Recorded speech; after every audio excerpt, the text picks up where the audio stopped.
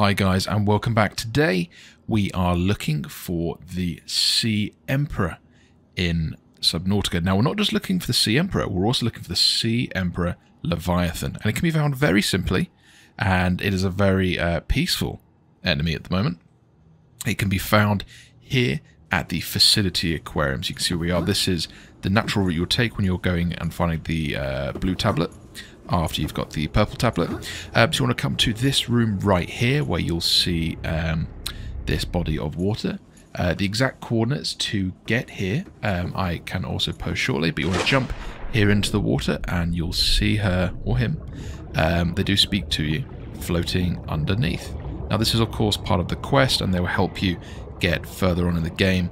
But that in a nutshell is how to find the Sea Emperor. Thank you for watching. I hope this was helpful. Please don't forget to like, and to subscribe. Thanks, guys.